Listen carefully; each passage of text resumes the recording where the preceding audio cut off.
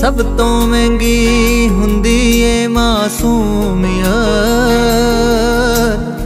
ਸੋਹਣੇ ਤਾਂ ਉਂਝ ਲੋਕ ਬਥੇਰੇ ਹੁੰਦੇ ਨੇ। ਜਿਨ੍ਹਾਂ ਨੂੰ ਤੱਕੀਏ ਤੇ ਤੱਕਦੇ ਰਹਿ ਜਾਈਏ। ਦੁਨੀਆ ਤੇ ਕੁਝ ਖਾਸ ਹੀ ਚਿਹਰੇ ਹੁੰਦੇ ਨੇ। ਸਭ ਤੋਂ ਮਹਿੰਗੀ